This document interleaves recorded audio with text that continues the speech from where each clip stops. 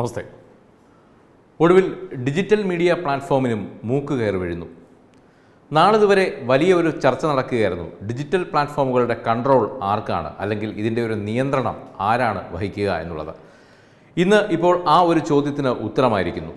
കേന്ദ്ര വാർത്താവിതരണ പ്രക്ഷേപണ വകുപ്പിന്റെ കീഴിലേക്ക് ഡിജിറ്റൽ പ്ലാറ്റ്ഫോമിനെയും കൂടെ എഴുതി ചേർത്തുകൊണ്ടുള്ള ഉത്തരവ് ഇന്ന് പുറത്തിറങ്ങിയിരിക്കുന്നു.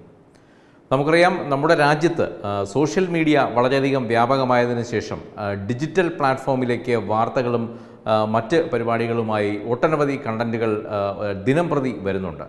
ഒരുപക്ഷെ നമ്മുടെ വികസിക്കുന്ന ടെക്നോളജിക്ക് അനുസൃതമായി കയ്യിൽ മൊബൈൽ ഫോണുള്ള ആർക്കും സ്വന്തമായി ഒരു ഡിജിറ്റൽ ചാനൽ തുടങ്ങാം എന്നുള്ള ഒരു രീതിയിലേക്ക് കാര്യങ്ങൾ എത്തിയിരിക്കുന്നു. നമുക്കറിയാവുന്നതുമാണ് അത്തരത്തിൽ ഒട്ടനവധി ചാനലുകൾ ഡിജിറ്റൽ ചാനലുകളാണ് രാജ്യത്തെമ്പാടും ഇന്ന് നിലവിലുള്ളത്. ആയിരക്കണക്കിനല്ല പതിനായിരക്കണക്കിനല്ല ലക്ഷക്കണക്കിന് ചാനലുകളാണ് ഇത്തരത്തിൽ സമൂഹ മാധ്യമങ്ങളിലൂടെ മറ്റ് ഓൺലൈൻ പ്ലാറ്റ്ഫോമുകളിലൂടെ ജനങ്ങളിലേക്ക് എത്തുന്നത്. എന്നാൽ കഴിഞ്ഞ കുറേ കാലങ്ങളിലായി ഇതിന്റെ ഇത് സംബന്ധിച്ചൊരു ചർച്ച നടക്കുന്നുണ്ടായിരുന്നു. കാര്യം ഇത്തരത്തിലുള്ള ഡിജിറ്റൽ പ്ലാറ്റ്ഫോമുകൾക്ക് ഒരു നിയന്ത്രണം വേണ്ടേ? ഒരു മൂക്കുകയർ വേണ്ടേ? തോന്നുന്നത് എന്ത് പടച്ചുവിടാൻ കെൽപ്പുള്ള പെട്ടെന്ന് ജനങ്ങളിലേക്ക് തീ പോലെ പടര പടരാൻ കഴിവുള്ള വാർത്തകൾ. ഒരുപക്ഷെ ഇന്നിപ്പോൾ ഡിജിറ്റൽ മീഡിയ പ്ലാറ്റ്ഫോമിലാണ് ഏറെയും നടന്നിരിക്കുന്നത്. കേരളത്തിൽ ഉൾപ്പെടെ വ്യാജ വാർത്തകൾ ചമയ്ക്കുന്നതിൽ ഈ ഡിജിറ്റൽ പ്ലാറ്റ്ഫോമുകൾ വലിയൊരു പങ്ക് വഹിച്ചിട്ടുണ്ട് കഴിഞ്ഞ കുറേ കാലങ്ങളിലായി. അതുകൊണ്ട് തന്നെ ഇതിനൊരു നിയന്ത്രണം വേണം അല്ലെങ്കിൽ ഒരു മൂക്കുകയർ വേണം എന്നുള്ള ഒരു കാര്യം കഴിഞ്ഞ കുറേ കാലങ്ങളിലായി ചർച്ച നടക്കുന്നുണ്ടായിരുന്നു.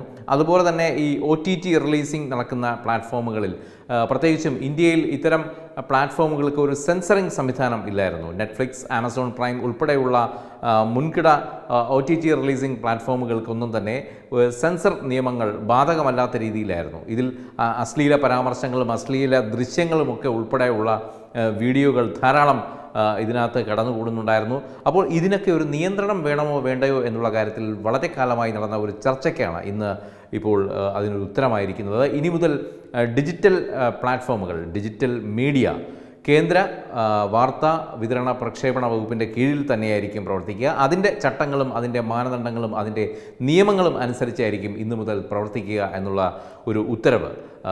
President of India Ramnath Kovind ഒപ്പിട്ട ആ, ഉത്തരവാണ് ഇന്നിപ്പോൾ പുറത്തിറങ്ങിയിരിക്കുന്നത്. ഇതിലൂടെ വ്യക്തമായ ഒരു സന്ദേശം തന്നെയാണ് ഇപ്പോൾ നൽകിയിരിക്കുന്നത്. കാര്യം ഇനി ആർക്കും ഏത് മൂലക്കിരുന്നും ഒരു ഡിജിറ്റൽ ചാനൽ പടച്ചുവിടാമെന്നുള്ള ഒരു മോഹം. അതിനി വേണ്ട കാര്യം ഇതിന് കൃത്യമായ മോണിറ്ററിംഗ് ഉണ്ട് കൃത്യമായ നിയമ നടപടികളുണ്ട്. മറ്റ് മാധ്യമങ്ങൾ ഇന്ത്യയിൽ പ്രവർത്തിക്കുന്നത് പോലെ ദൃശ്യ മാധ്യമങ്ങൾ സാറ്റലൈറ്റ് ചാനലുകൾ അതുപോലെ പത്രമാധ്യമങ്ങൾ ഇവയൊക്കെ പ്രവർത്തിക്കുന്നത് ഒരു പ്രത്യേക റൂൾസ് ആൻഡ് റെഗുലേഷൻസിന്റെ അടിസ്ഥാനത്തിലാണ്. കേന്ദ്ര വാർത്താ വിതരണ പ്രക്ഷേപണ വകുപ്പിന്റെ കീഴിലുള്ള കൃത്യമായ സ്ക്രൂട്ടനൈസിങ് കഴിഞ്ഞതിന് ശേഷമാണ് ഇത്തരത്തിലുള്ള ചാനലുകൾക്കെല്ലാം തന്നെ അവർ ലൈസൻസ് നൽകിയിരിക്കുന്നത്.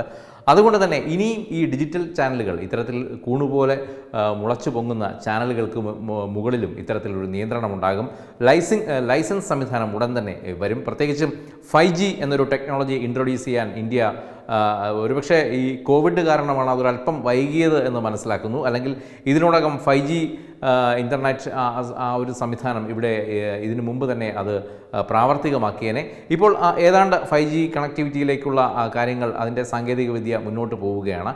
അപ്പോൾ ആ ഒരു കാലം വരുന്നതോടുകൂടി ഇത്തരത്തിൽ ആർക്ക് വേണോ ഒരു ചാനൽ തുടങ്ങാമെന്നുള്ള ഈ മറ്റ് നിയമ തടസ്സങ്ങളൊന്നുമില്ലാതെ തുടങ്ങാമെന്നുള്ള ഒരു കാര്യമുണ്ടായിരുന്നു. അതാണ് ഇപ്പോൾ ഈ ഇത്തരത്തിൽ ഒരു പുതിയ ഉത്തരവിലൂടെ അതിനാണ് ഒരു നിയന്ത്രണം ഉണ്ടാക്കിയിരിക്കുന്നത്.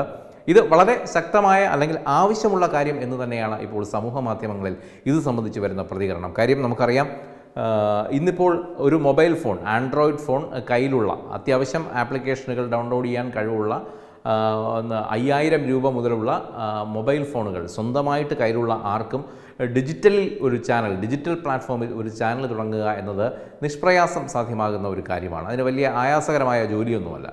അല്പസ്വല്പം സാങ്കേതിക ജ്ഞാനമുണ്ടെങ്കിൽ പരിജ്ഞാനമുണ്ടെങ്കിൽ ആർക്കും ഇത് തുടങ്ങാം.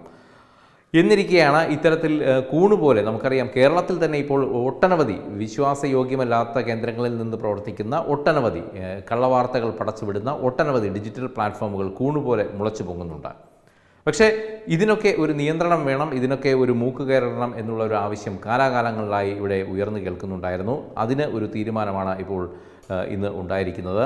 പ്രത്യേകിച്ചും കേരളത്തിൽ ഇനിയിപ്പോൾ തെരഞ്ഞെടുപ്പ് കാലഘട്ടമാണ്. ഇപ്പോൾ ആദ്യം പഞ്ചായത്ത് തെരഞ്ഞെടുപ്പിന്റെ ചൂടിലേക്ക് കേരളം പൊയ്ക്കൊണ്ടിരിക്കുന്നു. ഇതിന് തൊട്ട് പിന്നാലെ നിയമസഭാ തെരഞ്ഞെടുപ്പ് വരുന്നു. ഈ ഒരു കാലഘട്ടത്തിൽ തന്നെയാണ് ഇത്തരത്തിൽ ഒരു നിയന്ത്രണം വരുന്നത്. അതുകൊണ്ട് തന്നെ കൃത്യമായ മാനദണ്ഡങ്ങളും നിയമങ്ങളും അനുസൃതമായിട്ടായിരിക്കും ഇനിയുള്ള ഇത്തരത്തിലുള്ള ഓൺലൈൻ പ്ലാറ്റ്ഫോമുകൾ പ്രവർത്തിക്കുക. പ്രത്യേകിച്ചും നമ്മൾ തത്വമൈ ന്യൂസും തത്വമൈ ടി വിയും ഉൾപ്പെടെയുള്ളവർ ഈ ഓൺലൈൻ പ്ലാറ്റ്ഫോമിൽ നിൽക്കുന്നതാണ്. പക്ഷേ നമ്മളൊക്കെ നേരത്തെ തന്നെ വളരെ ഗൗരവകരമായി ഈ ഒരു വിഷയത്തെ കാണുകയും ഇതിനു വേണ്ടിയുള്ള മുൻകരുതൽ നടപടികൾ സ്വീകരിക്കുകയും പി ആർ ഡിയുടെ പോലും അക്രഡിറ്റേഷൻ നേടിയെടുക്കുകയും ചെയ്ത ഒരു ചാനലാണ് തത്വമൈ. അതുകൊണ്ട് തന്നെ ഇനി ഞങ്ങൾ പ്രവർത്തിക്കുക ഇത്തരത്തിൽ ഇതിന്റെ ഈ ഇപ്പോൾ കേന്ദ്ര വാർത്താ വിനിമയ വകുപ്പ് പുറത്തിറക്കുന്ന നിയമങ്ങളും അതിന്റെ മാനദണ്ഡങ്ങളും ഒക്കെ പാലിച്ചുകൊണ്ട് തന്നെയായിരിക്കും. ഈ ഇലക്ഷൻ പ്രഖ്യാപിച്ച സാഹചര്യത്തിലും ഇലക്ഷൻ പ്രോട്ടോകോൾ പാലിച്ചുകൊണ്ട് തന്നെയാണ് ഞങ്ങൾ വാർത്തകൾ പുറത്തേക്ക് കൊണ്ടുവരുന്നത്. ഈ കള്ളനാണയങ്ങളെ തിരിച്ചറിയുക അവയെ ചവിട്ടി പുറത്താക്കുക എന്നുള്ള ഒരു കാര്യമാണ് ഈ ഒരു നിയമം പ്രാബല്യത്തിൽ വരുന്നതോടെ ചെയ്യുക. അതുകൊണ്ട് തന്നെ ഈ ദുഷ്ട ലക്ഷ്യം അല്ലെങ്കിൽ ഇത്തരത്തിൽ അപഹാസ്യപ്പെടുത്തുക ആളുകളെ അത്തരത്തിലൊക്കെ ലക്ഷ്യം വെച്ച് പ്രവർത്തിക്കുന്ന ഒട്ടനവധി ഡിജിറ്റൽ പ്ലാറ്റ്ഫോമുകൾക്ക് ഉടൻ തന്നെ കയറ് വീഴും മൂക്ക് കയറ് വീഴും.